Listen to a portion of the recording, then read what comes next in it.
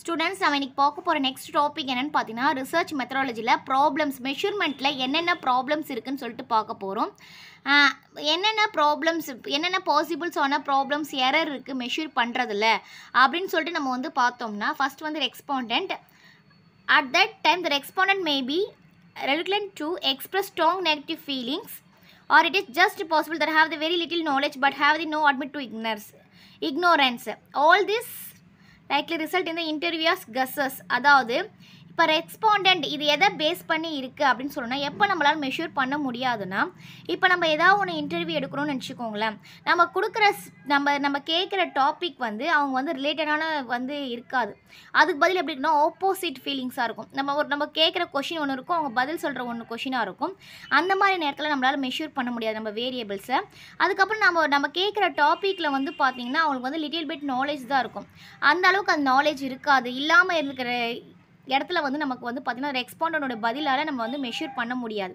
சில நேரத்தில் வந்து கெஸ் மூலிமா சொல்லுவாங்க இல்லையா? கெஸ் மூலிமா சொல்லும் போது இன்டர்வியூவில் கெஸ் மூலிமா சொல்லும் போதும் அந்த மெஷர்மெண்ட்டில் வந்து நமக்கு வந்து எரர் வரும். நமக்கு வந்து கரெக்டாக இருக்காது இல்லையா? நம்ம கேட்குற கொஷினுக்கும் கரெக்டான ஆன்சர் வந்தால் தான் நமக்கு என்ன இருக்கும்? அதுக்கான மெஷர்மெண்ட்டு நம்ம அந்த அந்த ப்ராஜெக்ட் அந்த ரிசர்ச்சுக்கான மெஷர்மெண்ட் நம்ம வந்து பண்ண முடியும். நமக்கு ஆப்போசிட் பதிலோ இல்லை கொஞ்சமான பதிலோ இல்லை கெஸ் சொல்கிற பதிலோ நம்ம வச்சு நம்ம என்ன பண்ண முடியாது? ஒரு ரிசர்ச்சுக்கான சொல்யூஷனை நம்ம வந்து கொடுக்க முடியாது. அந்த நேரத்தில் இந்த மாதிரி இடத்துல நம்ம வந்து மெஷர் பண்ண முடியாது.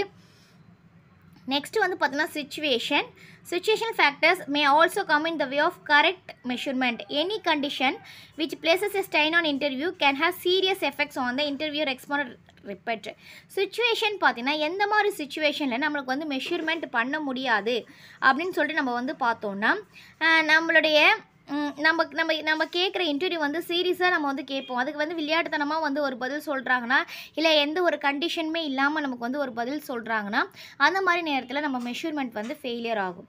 நெக்ஸ்ட்டு வந்து பார்த்திங்கன்னா மெஷூரர் இந்த இன்டர்வியூ கேன் அதாவது இந்த இடத்துல வந்து பார்த்தீங்கன்னா இதுக்கு முன்னாடி வந்து ரெஸ்பாண்டன்ட் தான் நம்ம சொன்னோம் இல்லையா? இப்போ இந்த இந்த மாதிரி இருந்தாலும் ப்ராப்ளம் ஆகும். யார் கேட்குறாங்களோ கொஷின் இந்த இன்டர்வியூர் கேட்குறாங்களோ அந்த கொஷினே வந்து பார்த்திங்கன்னா கரெக்டான கொஷினாக இல்லாமல் கரெக்டான வேர்ட்ஸாக இல்லாமல் நம்மளே வந்து தப்பாக ஒரு கொஷினை கேட்கும் போது பார்த்திங்கன்னா நமக்கு நம்மளோட ரிசர்ச்சுக்கு தகுந்த மாதிரி கன்க்ளூஷன் வராது. அந்த மாதிரி நேரத்தில் நம்மளோட மெஷரபிள் வந்து பார்த்திங்கன்னா எரர் ஆகும். அந்த நம்ம வந்து மாற்றி மாற்றி நம்ம கொஷின் கேட்டால் நமக்கு என்ன ஆகும்? ஒரு மாதிரி இரிட்டேட்டிங் ஆகும் இல்லையா? அந்த மாதிரி நேரத்தில் வந்து பார்த்திங்கன்னா நம்மளுடைய மெஷர்மெண்ட் வந்து கரெக்டாக இருக்காது. நெக்ஸ்ட்டு வந்து பார்த்தீங்கன்னா இன்ஸ்ட்ருமெண்ட் மூலயமா வரும். நம்ம மெஷரிங் பண்ணுற இன்ஸ்ட்ருமெண்ட்டு அதாவது பார்த்தீங்கன்னா நமக்கு ரெஸ்பாண்ட் கொடுக்குற பதிலை வச்சு நம்ம என்ன பண்ணுறோன்னு பார்த்தீங்கன்னா the use of complex words beyond the comprehension of the respondent அவங்க ஒரு பதில் சொல்லுவாங்க. நமக்கு அதுக்கு ரிலேட்டடாக வேறு வேர்ட்ஸ் அதை போட்டுட்டோம்னா அதுக்கான மீனிங் வந்து நமக்கு வந்து மாறிடும். அண்ட் தென் பார்த்தீங்கன்னா போர் பிரிண்டிங் இந்த மாதிரி இன்ஸ்ட்ருமெண்ட் வந்து போர் பிரிண்டிங்னா அவங்க கொடுக்குற வேர்ட்ஸை நம்ம வந்து பிரிண்டிங்னா சரியாக பண்ணாமல் இருந்தால் அந்த மாதிரி வரும். சாய்ஸ் ஒமிஷன்ஸ் ரெஸ்பான்ஸ் கொடுக்கறத வந்து சாய்ஸில் விட்டுறது. அந்த மாதிரி நேரத்துலலாம் பார்த்தீங்கன்னா நமக்கு வந்து மெஷர்மெண்ட் எரர்ஸ் வந்து நமக்கு வந்து வர ஆரம்பிக்கும். நெக்ஸ்ட்டு வந்து பார்த்திங்கன்னா ரியலபிலிட்டி ரியலபிலிட்டி பார்த்தீங்கன்னா டெஸ்ட் இது வந்து பார்த்தீங்கன்னா இது வரைக்கும் நம்ம வந்து மெஷர்மெண்ட் எப்படி இருக்குன்னு பார்த்தோம். சார் மெஷர்மெண்ட்டில் என்னென்ன எரர் இருக்குன்னு பார்த்தோம். இப்போ வந்து மெஷர்மெண்ட் எப்படிலாம் இருக்கணும்னு சொல்லிட்டு பார்க்கணும். ஒரு டெஸ்ட் நம்ம பண்ணுறோம்னா அந்த டெஸ்ட் வந்து எப்படி இருக்கணும் ரியலபிளாக இருக்கணும். அப்போ தான் வந்து அது பர்ஃபெக்டாக இருக்கும். Reality is self correction of the test reliable மூலயமா தான் பார்த்தீங்கன்னா செல்ஃப் கோரிலேஷன்னா நம்மளே நம்ம நமக்கு நாமளே டெஸ்ட் பண்ணிக்கலாம். ஓகேவா ரெண்டு எதாவது பேஸ் பண்ணி வச்சு இது கரெக்டாக இல்லையான்னு சொல்லிட்டு நம்ம வந்து பேஸ் பண்ணிக்கலாம். It shows the extent to which the result obtained and considered when the test is administered. Reliability that includes both internal consistency as well as temporal consistency.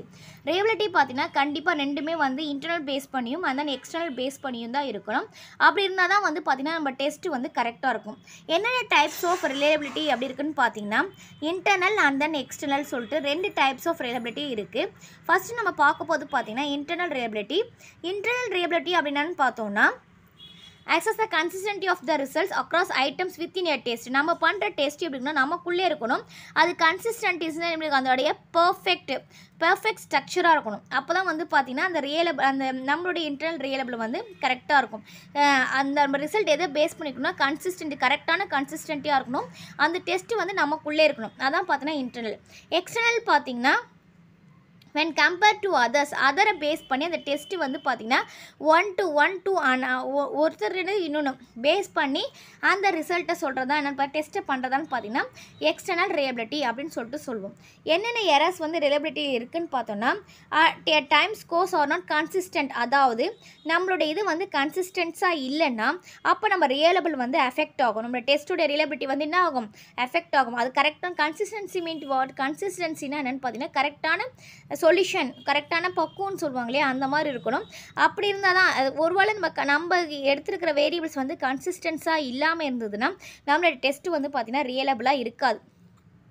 எந்தெந்த இடத்துல நம்ம ரியலபிள் வந்து எஃபெக்ட் ஆகும்னு பார்த்தீங்கன்னா நாய்ஸ் ஹெல்த்து டைமு இந்த மாதிரி இடத்துல வந்து நமக்கு வந்து அஃபெக்ட் ஆகும். ஒரு ஃபைவ் பர்சன்ட் எரர் இருந்துச்சுன்னா நம்ம ரியலேபிளில் அது ஒன்றும் பிரச்சனை கிடையாது. நம்மளுடைய கன்சிஸ்டன்ஸில் அதுக்கு மேலே போச்சுன்னா இந்த எதுவாக இருந்தாலும் சரி நமக்கு வந்து இந்த நமக்கு வந்து நம்ம மெஷூர்மெண்ட் ரிலேபிள் வந்து எரராக வரும். நெக்ஸ்ட் வந்து பார்த்தீங்கன்னா வேலிடிட்டி வேலிடிட்டி பார்த்தீங்கன்னா is another prerequisite for a test to be a sound வேலிடிட்டினா நம்மளுடைய எடுத்துக்கிற மெஷர்மெண்ட் வந்து கரெக்டாக வேலிடாக இருக்கா அப்படின்னு சொல்லிட்டு பார்க்குறது என்னதுன்னா validity validity increases the extent to which the test measure what it intends to measure and when to compare with outside independent criteria. Validity எதை பேஸ் பண்ணி இருக்கும்னு பார்த்தீங்கன்னா நம்மளுடைய மெஷர்மெண்ட் வந்து பார்த்தீங்கன்னா ஒன்றுலேருந்து இன்னொரு இடத்துல நம்ம கம்பேர் பண்ணுறோம் இல்லையா?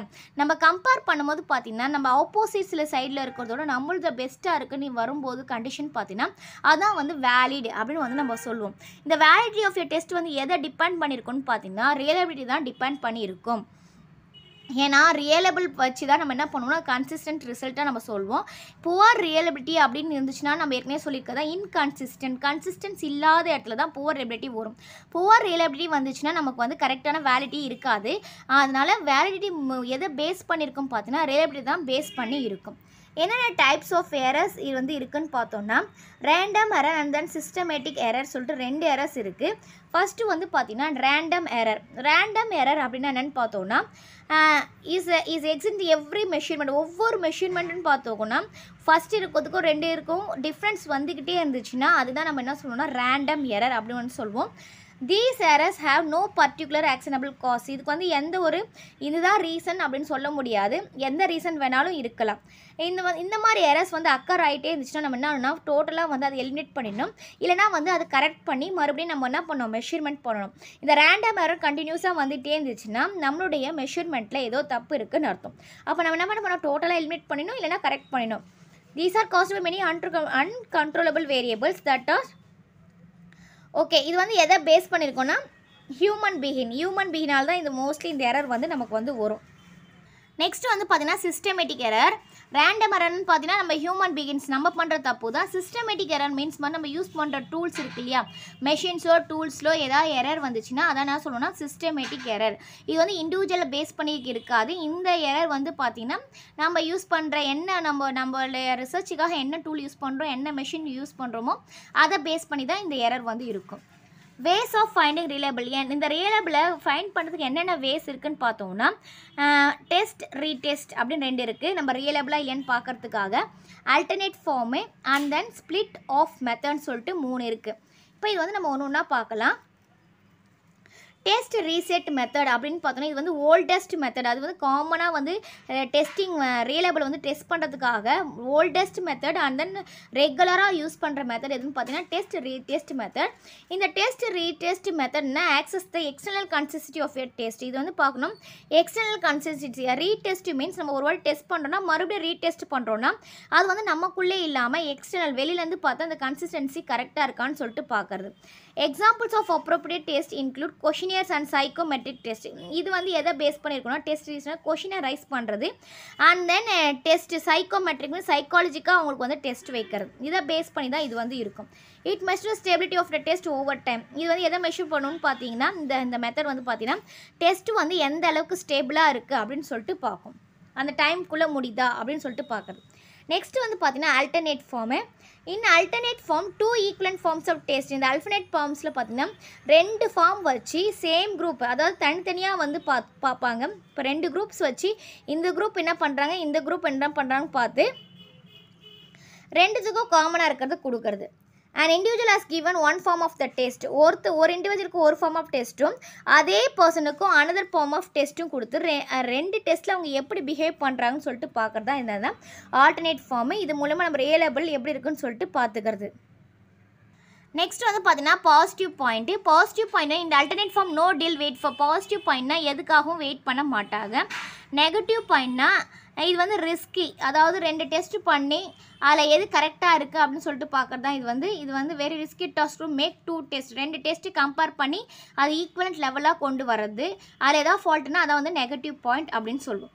நெக்ஸ்ட் மெத்தட் பார்த்தீங்கன்னா ஸ்பிளிட் ஆஃப் மெத்தட் இந்த ஸ்பிளிட் ஆஃப் மெத்தட் பார்த்தீங்கன்னா இது வந்து இன்டர்னல் நம்ம ஏற்கனவே பார்த்தது டெஸ்ட் ரீடெஸ்ட் வந்து எக்ஸ்டர்னல் இது எதை பேஸ் பண்ணியிருக்கோம்னு பார்த்தீங்கன்னா இன்டர்னலாக பேஸ் பண்ணி இருக்கும். It measures the extent to which all parts of the test contribute equally to what is being measured இது என்ன பண்ணும் பார்த்தீங்கன்னா நமக்குள்ளே இருக்கிற எல்லா பார்ட்ஸும் டெஸ்ட் பண்ணி எது மா எதை மெஷூர் பண்ணலாம் அப்படின்னு சொல்லிட்டு சொல்கிறது என்னதுன்னா ஸ்பிளிட் ஆஃப் மெத்தட் பாதி பாதியாக இது பண்ணிவிட்டு அதுக்கப்புறம் நம்ம எடுத்துக்கிறது. The test is technique split into odd and even form இந்த டெஸ்ட் எப்படின்னா ஆடு ஈவன் அப்படின்னு தனித்தனியாக பிரித்து இதை தனியாக டெஸ்ட் பண்ணுறது இது தனியாக டெஸ்ட் பண்ணிட்டு அதுக்கப்புறம் இதுக்குள்ளே எது வந்து மெஷூர் பண்ணலான்னு சொல்லிட்டு பார்க்குறது. For example split the test into two groups நம்ம ரெண்டு ரெண்டு குரூப்ஸாக வந்து நம்ம டெஸ்ட்டை கொடுக்குறோம். ஒன்று வந்து பார்த்தீங்கன்னா ஈஸி கொஷின்ஸ் கொடுக்குறோம் ஒன்று வந்து டிஃபிகல்ட் கொஷின்ஸ் கொடுக்குறோம். ஒரு குரூப்புக்கு வந்து ஈஸியான கொஷின்ஸை கொடுக்குறோம். ஒரு குரூப் வந்து கஷ்டமான கொஷின்ஸை கொடுத்து ரெண்டுத்துக்கும் என்ன ரியலபிள் இருக்குன்னு சொல்லிட்டு பார்க்குறது. இதுதான் வந்து uh, இந்த மெத்தடோடைய வேலை. இப்போ உங்களுக்கு இது கிளியராக புரிஞ்சிருக்கும்னு நினைக்கிறேன். தேங்க்யூ ஸ்டூடெண்ட்ஸ் தேங்க்ஸ் ஃபார் வாட்சிங் நம்ம சேனலை சப்ஸ்கிரைப் பண்ணுங்கள் வீடியோவை ஷேர் பண்ணுங்கள்